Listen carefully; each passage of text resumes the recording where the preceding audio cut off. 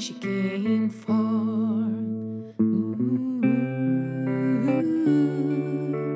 Mm-hmm. and she's behind the stairway to heaven. There's a sign of the world, but she wants to be sure, cause you know sometimes words have two meanings in the tree. Why